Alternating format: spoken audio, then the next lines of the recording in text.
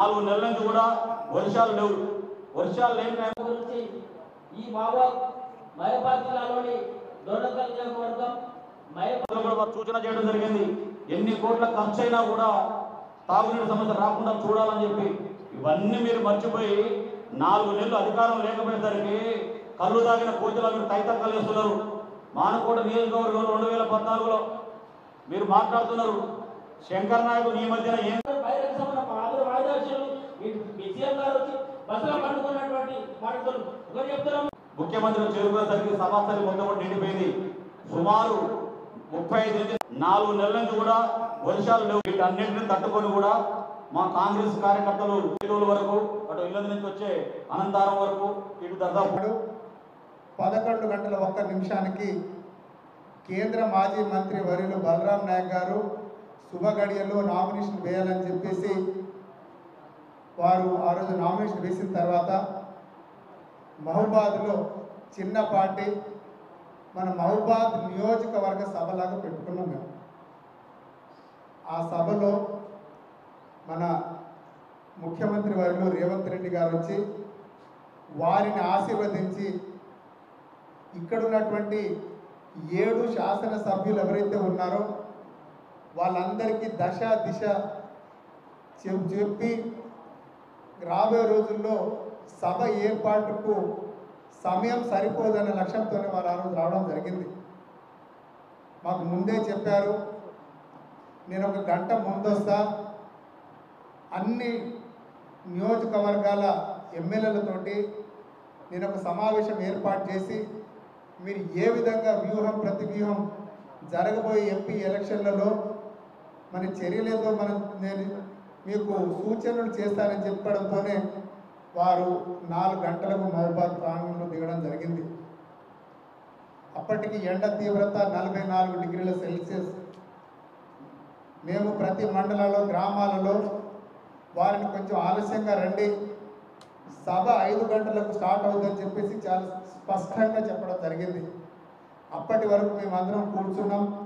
శాసనసభ సభ్యులం డీసీసీ అధ్యక్షులం అలాగే మన క్యాండిడేట్ అయినటువంటి బలరాం నాయక్ గారు మీరు అందరం ముఖ్యమంత్రి గారు ముఖ్యమంత్రి సలహాదారులతోటి మేము ముచ్చటించుకొని మనం వేసే ఎంతో పై ఎత్తు దాని గురించి చర్చించుకున్నాం. దానిని ఏదో పెడార్థాలు తీసి మన ముఖ్యమంత్రి గారు వచ్చినా కూడా జన సందోహం లేదు. మీటింగ్ అంతా అట్టర్ ఫ్లాప్ అని చెప్పడం నిజంగా కూడా చాలా దురదృష్టకరమైన విషయం చాలా బాధాకరమైన విషయం. అలాగే మా ముఖ్యమంత్రి వారు ఒక మాట ఇచ్చారు. వారు మాట ఇచ్చిందంటే తప్పరు. మంచి ఇందిరమ్మ ఇల్లులు. మన మాజీ ముఖ్యమంత్రి కేసీఆర్ గారికి చెర్లపల్లి జైల్లో మంచిగా సుందరంగా కేసీఆర్ ఉండేటట్టుగా కేసీఆర్ అల్లుడు ఉండేటట్టుగా ఒక ఇల్లు ఒక రూము అలాగే కేసీఆర్ బిడ్డ కవిత ఉండేటట్టుగా ఒక రూము హరీష్ రావు కూడా ఒక స్పెషల్ రూమ్ కట్టిస్తారని చెప్పేసి మాట ఇవ్వడం జరిగింది. ఆ మాటను తప్పకుండా మన ముఖ్యమంత్రి రేవంత్ రెడ్డి గారు తప్పగా నెరవేరుస్తారని చెప్పేసి మీ పత్రికా విలేకరుల సమక్షంలో నేను తెలియజేస్తున్నా. అదేవిధంగా నేను ఒకటే చెప్తా ఉన్నా మన నాయకులు ఎమ్మెల్సీ తక్కెలపల్లి రవీంద్రరావు గారు మాట్లాడడం జరిగింది. వారు ఇప్పుడు గత నాలుగు నెలలు అయింది ఇప్పటి వరకు ఎటువంటి సంక్షేమ పథకాలు ప్రజలకు అందలేదని చెప్తా ఉన్నారు. నేను ఒకటి చెప్తా ఉన్నా గత ప్రభుత్వం మీరు ఇచ్చినటువంటి డబుల్ బెడ్రూమ్ ఇళ్ళలో మీరు ఓట్లు అడగండి. అలాగే మేము పరిపాలించినప్పుడు ఇందిరమ్మ రాజ్యంలో ఇందిరమ్మ ఇల్లు ఎక్కడెక్కడ ఇచ్చారో మేము అక్కడ మేము పోయి మా ఓట్లు అడుగుతామని చెప్పేసి మీకు మేము తెలియజేస్తాను అదేవిధంగా ఇప్పుడు గత మూడు నెలల్లోనే వంద రోజులు పూర్తి కాకముందే ఐదు గ్యారంటీలు మేము ప్రజలకు ఇవ్వడం ఇవ్వడం జరిగింది.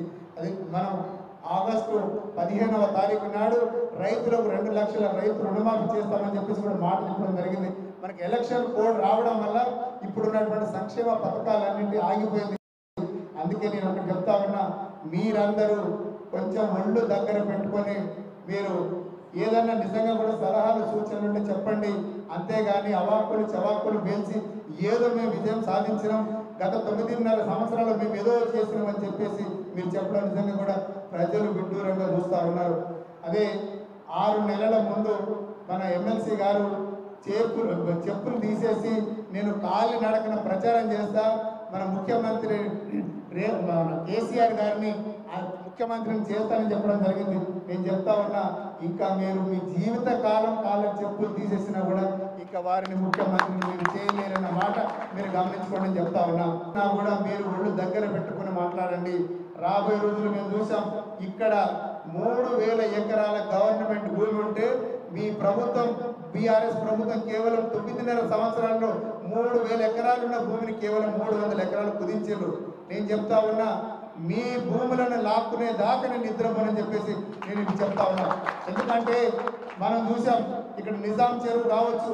ఎఫ్టీఎల్ ల్యాండ్తో పాటు బఫర్ జోన్లను అలాగే గవర్నమెంట్ మెడికల్ కాలేజ్లో ఎన్ని ఎకరాలు కుంభకోణం ఉందో మాకు అందరికీ తెలుసు. ఇక్కడ ఉన్నటువంటి శాసనసభ సభ్యులు ముప్పై ఎకరాల నాలుగు గుంటల భూమిని వాళ్ళు ఐదు వందల యాభై ఒకటి సర్వే నెంబర్లో ఉన్న భూమిని రెండు వందల ఎనభై ఏడవ సర్వే నెంబర్ అని చెప్పేసి గవర్నమెంట్ భూమిని పట్టా భూమిగా మార్చి మీరు పట్టాలు చేసుకుని మీరు కాదా? ప్రతి ఒక్క గుంట భూమిని మేము తీసుకుంటాం. ఏదో ఇప్పుడు మీరు చెప్పేసి ఏదో బెదిరించేసి మీకు మీ భూములను మీరు కాపలా కాదాం అనుకుంటున్నారు కానీ మీరు అక్రమంగా సంపాదించిన భూములన్నిటినీ మేము తిరిగి ప్రభుత్వానికి ఇస్తాం. అది మంత్రి సత్యవతి రాఠోడ్ అక్కడ నేను ఒకటి అడుగుతా ఉన్నా. అక్క మనకు రావాల్సిన మౌబాల్ హెడ్ క్వార్టర్స్లో రావాల్సినటువంటి గిరిజన యూనివర్సిటీ మన కాకుండా మన ములుగుకి ఎలా పోయింది? కేవలం ఇక్కడ మనం స్థలం చూపించలేకపోయాం. ఎందుకంటే ఉన్న స్థలాన్ని అందరూ మీ నాయకులే దోచేసిండ్రు కదా. ఇంకా మీకు గిరిజన యూనివర్సిటీకి స్థలం ఎక్కడుందని చెప్పేసి నేను తెలియజేస్తున్నా. మనకు వచ్చేటటువంటి గిరిజన యూనివర్సిటీని కూడా మనకు కాకుండా ములుగు జిల్లాకు మీరు తరలించడం ఎంత పాపమో మీ గిరిజనుల ఉసురు తగులుతుందని చెప్పేసి పత్రికా విలేకరుల సమావేశానికి తెలియజేస్తున్నా. అందుకే నేను ఒకటి చెప్తా ఉన్నా.